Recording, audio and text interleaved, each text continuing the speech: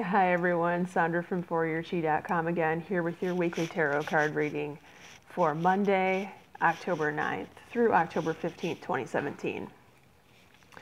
So this is going to be a very serious but very informative video this week. Um, if you have watched the, my two previous videos, you'll know that for the weekend, of the horrible Las Vegas incident, I pulled the death card. And just to clarify, last week's reading was recorded approximately 10 hours prior to that time. And if you're interested in seeing the details on that, you can um, go onto that video for last week and you'll see that it was uploaded just before 6 o'clock in the morning. And the video behind me has daylight in it, so it was recorded the previous day. Now, um, in last week's video, I talked about that death card and I talked about why people choose to exit early and that some of you had already been to funerals um, the previous week and that you were, some of you had been to funerals that weekend prior to Las Vegas. Um, and I want to talk about the actual cause of what is actually happening and why. Um, and it, one more thing, as it turns out, the reason I was picking up on, I pulled the death card really for that weekend, um, and that relates to Las Vegas, is because one of you actually has a best friend that lost a child in that tragic shooting, and God bless her soul. Um, I'm praying for your entire family, and I prayed for her soul for a peaceful and easy transition.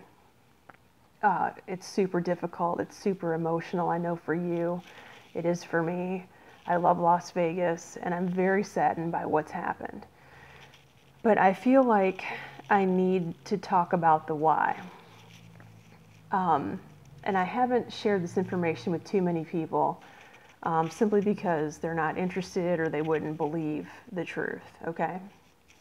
So, a year and a half ago, I received very detailed, very specific information regarding what happens to put a person in a state to where they want to kill a whole bunch of people.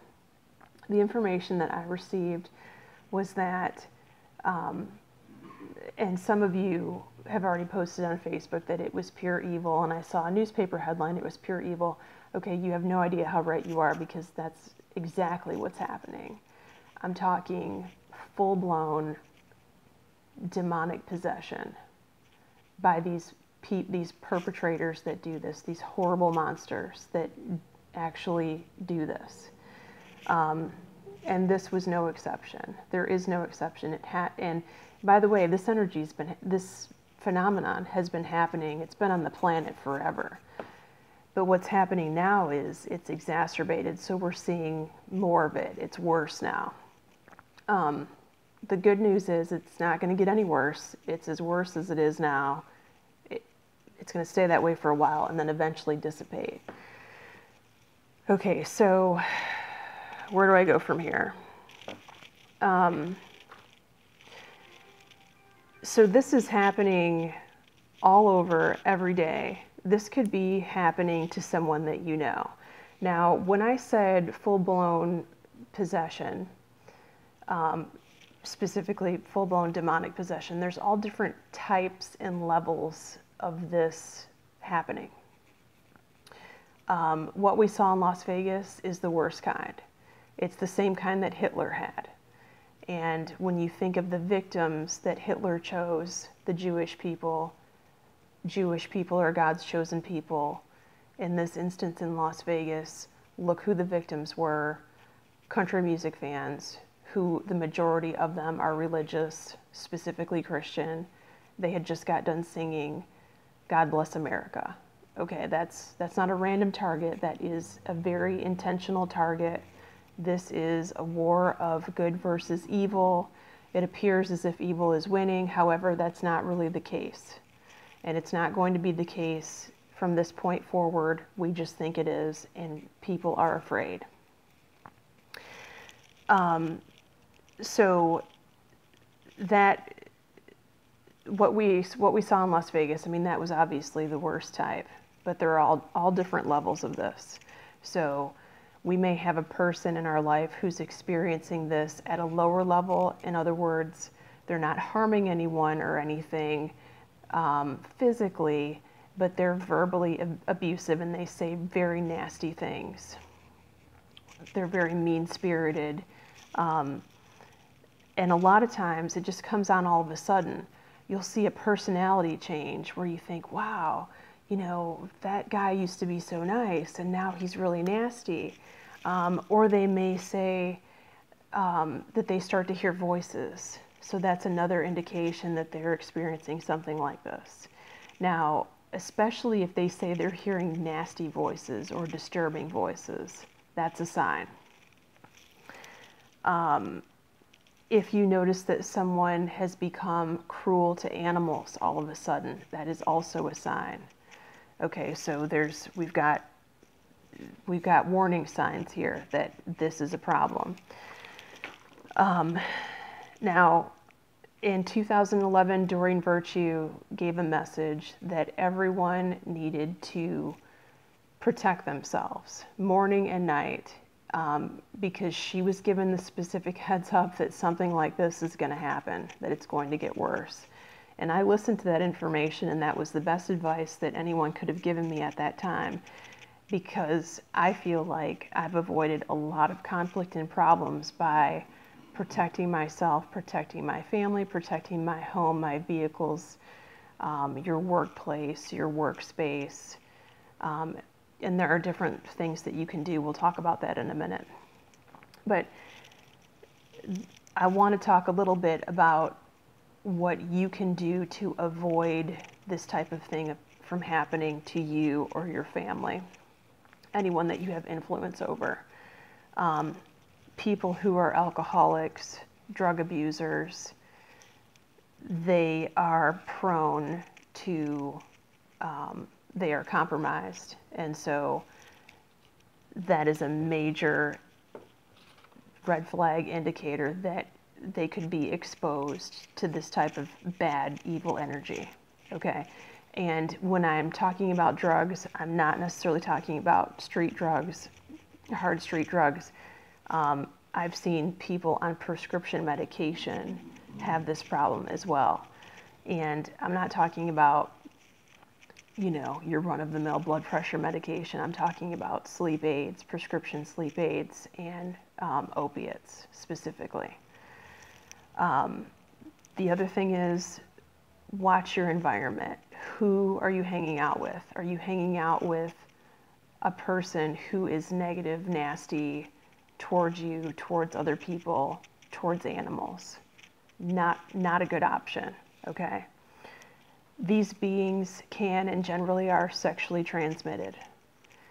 And the reason for that is because there is an energy exchange that takes place during intercourse at the base chakra level. So these beings can be transmitted. This is very important information.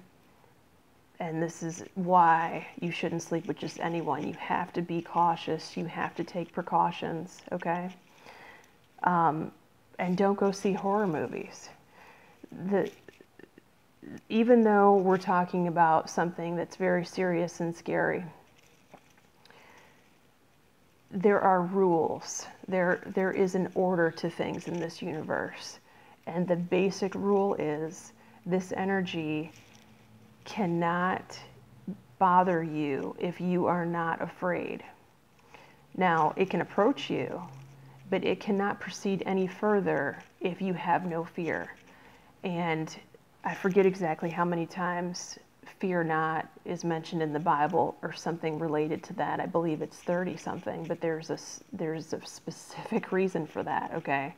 That's very good advice.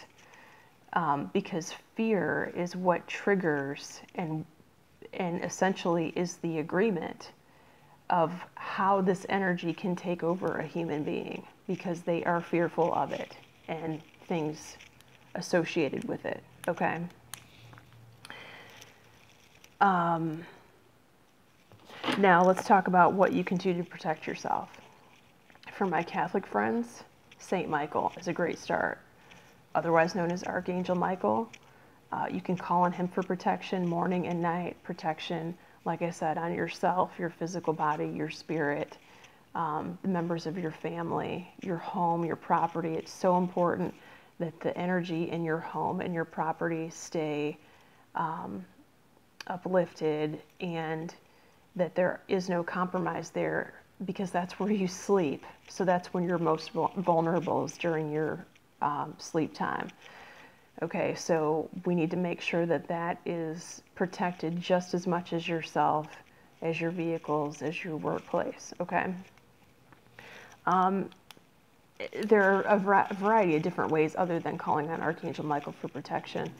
Um, you can Google Doreen Virtue's videos uh, for protection and prayers for protection, um, and you'll see a variety of information out there. I know she's on her latest kick about um, protecting yourself with the armor of God, and you just simply call on that. There are different um, energies of light that you can call on, the white light of the Holy Spirit. Some people say that works for them or it doesn't work. Um, they need more, the golden light of protection of the highest vibration. So these are all very helpful things um, that can protect you and your loved ones from this type of nasty energy. All right, so I'll go on more about that, but I've given you the basics of why and what you can do to prevent this for yourself and others. Um, and it's possible that you already know someone that's experiencing this right now in your life. Um, and if that's the case, you can send me a private message and we'll talk more about it. I typically don't um, clear people from that, although I have in the past. I'm not ruling it out. Uh, but I do know of someone who is very talented in what she does, and that's what she does for a living. So I can certainly refer you to. Um, and they don't, this is not like a modern day exorcism. This is all remote work. They don't meet each other. She simply does the work remotely from her home. Okay. So the first card for this week, Monday, Tuesday, and these are all good cards, by the way. So you don't have to worry about that. The waiting game. So the waiting game says that patience is required. However, after a period of patience, your success is assured. So if things aren't happening at the rate in which you want them to happen, not to worry. Everything is in divine timing and order. It's going to happen when it's supposed to happen. But this means you will be successful, okay? Card for midweek, it's the best card in the whole deck. The universe, which is the world in traditional tarot, it means that the universe is open to giving you that which you wish and that which you desire. You just have to be in gratitude for receiving it. All right, so be thankful for what you have because more goodies are on the way to you. And then the card for this weekend, I really like this card. So Friday, Saturday, and Sunday, recognition and reward. So this card, um, according to the book, means pat yourself on the back for a job well done but I've also found that with I pull this card with from a lot of my clients, it means that there's a little extra bonus money coming to you. It's not huge, but it's a nice little surprise to help you pay for something, okay? So that's great news too. And then the advice card for this week, I pulled two. The first one was Archangel Gabriel, and I get this card all the time. So Archangel Gabriel is here to tell you that you too have a message. Um, to spread with this world and it involves communication and uplifting people okay could be writing could be um, publicizing some information and then the second card goes right along with that akasha which means you too are a spiritual teacher and that you need to get your messages of healing um, and perhaps you're intuitive as well that you need to start giving readings of your own and i know i have a lot of you um, are in this field anyway. So, you know, here's your sign to get started if you're not already started, or get put yourself out there even more if you're only halfway out there doing this for a living. Okay. All right, so thank you so much for watching this video. If you find my videos helpful, please like and share my videos and subscribe. It helps to support my business. I appreciate you. Have a great week, everyone. Bye-bye.